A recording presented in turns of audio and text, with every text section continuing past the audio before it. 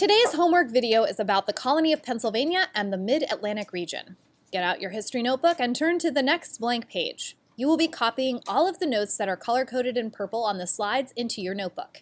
Keep a sharp ear for what to draw next to your notes to prove to me that you are paying attention and listening as you follow along. Let's get started. Today's lesson, we will be answering the four guiding questions. One, how did climate, geographic features, and other available resources distinguish the three regions from each other? Two, how did people use the natural resources of their region to earn a living? Three, what are the benefits of specialization in trade? And four, how did political and social life evolve in each of the three regions?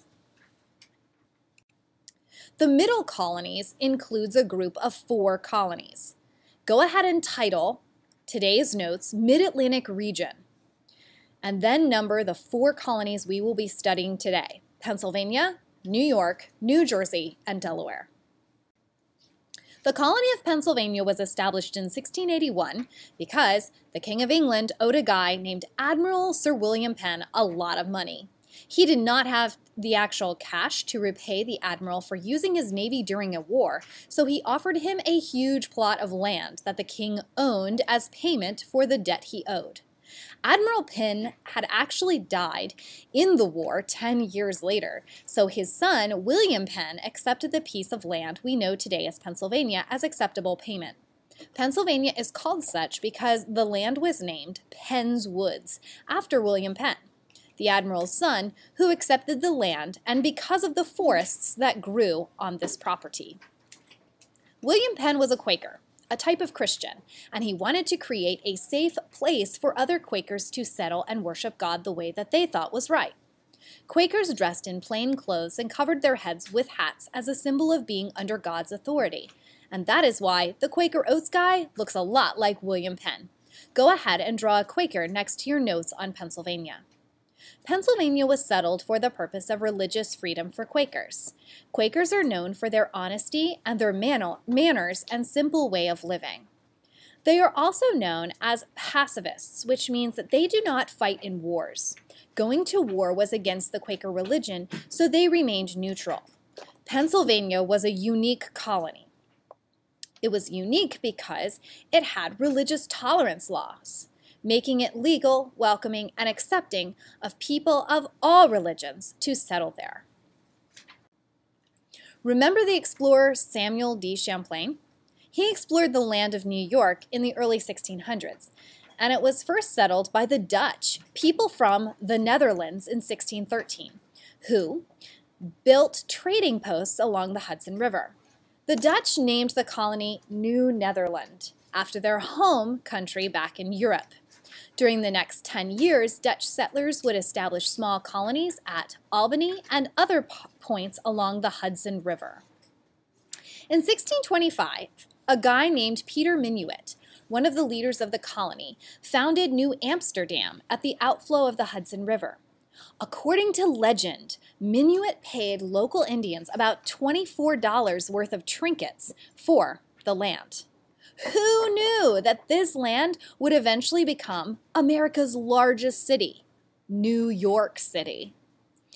In the 1630s and 1640s, Puritans from other colonies began moving into New Amsterdam.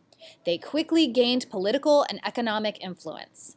The British soon claimed the entire region, citing the explorations of John Cabot. Remember him? English explorer who had been sent by Henry VII, was the reason England lay claim to this land. In 1664, a British naval fleet sailed into the harbor of New Amsterdam and forced the Dutch people to surrender control to the British. New Netherland was then divided into the colonies of New York and New Amsterdam. The name New York comes from, was named after James, Duke of York, replaced New Amsterdam. New Jersey's early colonial history is similar to New York's. Like New York, the area was first colonized by Dutch settlers around 1613. The colony was called New Netherland and includes parts of modern-day New York and New Jersey. By 1664, the British had claimed the entire region and had driven the Dutch out. New Netherland was renamed New Jersey, and New Amsterdam was renamed New York. Although King Charles originally gave the region to his brother, the Duke of York, eventually he changed his mind and decided to divide the region and give the land between the Hudson and Delaware River, New Jersey, to, to his two best friends, Sir George Carteret and Lord Berkeley of Stratton go ahead and draw a picture of the king giving the land to his two popular friends, Lord Berkeley and go ahead and George Carteret. Don't forget the big hairdos that were so popular in England at this time. Carteret and Berkeley began attracting people to the area by offering land and guaranteeing religious freedom. In return for the land, the settlers were supposed to pay a yearly tax called a quit rent, but the quit rents proved hard to collect, which prompted the sale of the land to the Quakers in 1673. Upon the sale, New Jersey was divided in West Jersey and East Jersey. However, by 1702, the two divisions were united as the Royal Colony of New Jersey. Delaware. The Dutch first settled Delaware in 1631, although all the original settlers were killed in a disagreement with local Indians. Seven years later, the Swedes set up a colony and trading post at Fort Christina on the northern part of Delaware. But the Dutch got it back in 1651. Then in 1664, the British removed the Dutch from the whole East Coast. After William Penn was granted the land that became Pennsylvania in 1682, he persuaded the Duke of York to rent him the western shore of Delaware Bay so that his colony could have an outlet to the sea. The Duke agreed. But this decision by the Duke angered a guy named Lord Baltimore, the first proprietary governor of Maryland, who believed that he had rights to Delaware too. A lengthy and occasionally violent 100 year conflict between Penn's heirs and Baltimore's heirs was finally settled when Delaware's border was defined in 1751 when the Maryland, Pennsylvania, and Maryland, Delaware borders were defined as part of the Mason Dixon line in 1768. Even though these four colonies have different stories of how they were settled, their geography and climate are similar.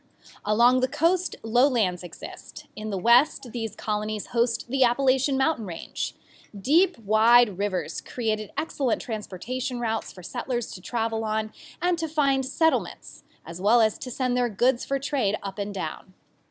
Colonists living in the eastern towns and cities benefited from deep harbors and bays that were ideal for docking and anchoring large ships for trading. The rolling hills provided farmland for the settlers in the middle of the colonies and in the west. The Appalachian mountain chain runs through the western portions of all of these colonies.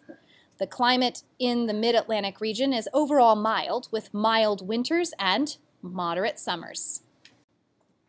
The Mid Atlantic colonies featured many resources not only for the people living in this region, but also to trade and send north to the New England colonies and south to the southern colonies.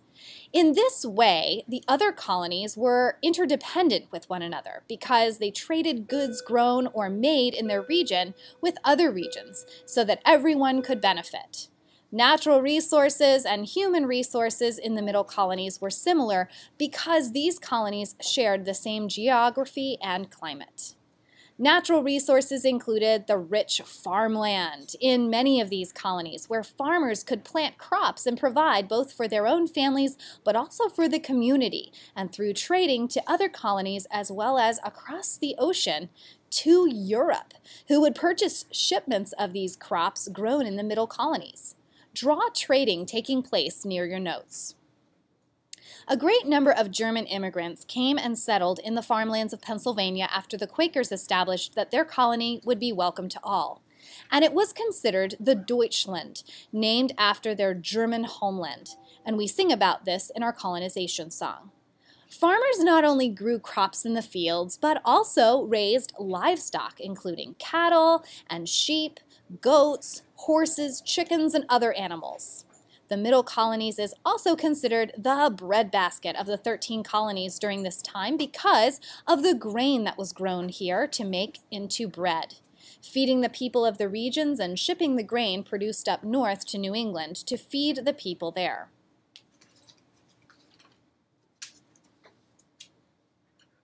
Merchants in towns and cities were also a common job in the middle colonies.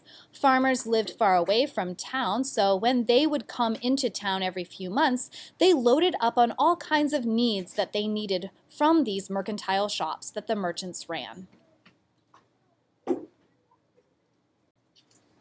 Since many of the people living in the middle colonies lived out on farms far away from one another, coming into town was a big deal. The market towns and village squares were the primary places where people visited with one another. Social functions were large gatherings with people who would come from miles away to participate. Keep in mind that many groups of people had immigrated from Europe to settle these colonies, so not all the people spoke the same language. What groups do you see based on this map? List at least three different people groups along with your notes.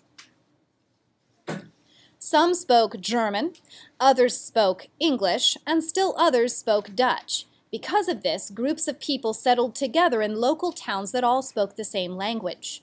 Because many of these colonies welcomed all religions, diverse religions resided in these colonies. Groups of people who shared the same religion would choose to build their farms near those who had this in common with them too.